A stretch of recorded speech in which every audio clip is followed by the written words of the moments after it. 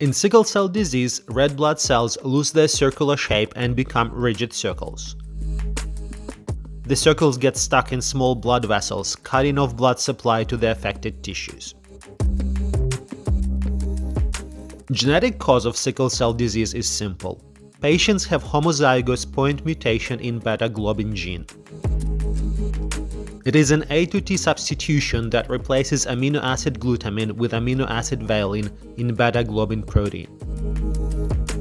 Under low oxygen conditions, modified beta globin forms rigid strands that transform red blood cells into sickles.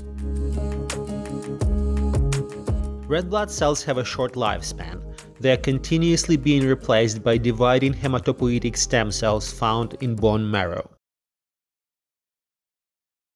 Sickle cell gene therapy works by extracting patients' own hematopoietic stem cells, applying genetic modification to them, and reintroducing them back into the patient.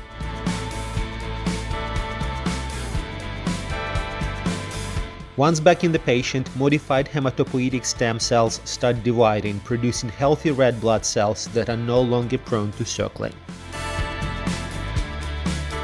Genetic modification is done in a lab with the help of modified viruses. In gene therapy, viruses stripped off of their infectious components serve as gene delivery vehicles.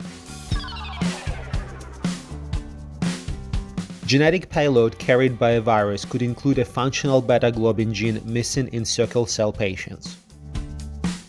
Another approach to sickle cell gene therapy involves reactivating production of fetal hemoglobin. In fetal hemoglobin, the function of beta-globin protein is performed by another molecule called gamma globin. Gamma globin is produced in human fetus and in newborn babies.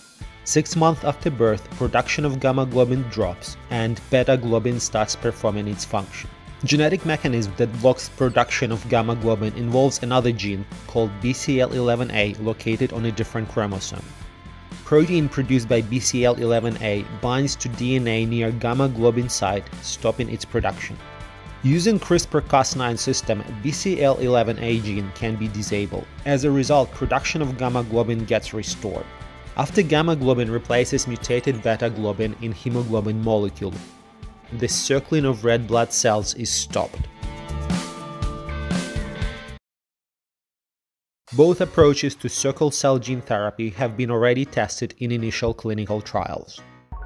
Today we have first patients cured of sickle cell disease by gene therapy.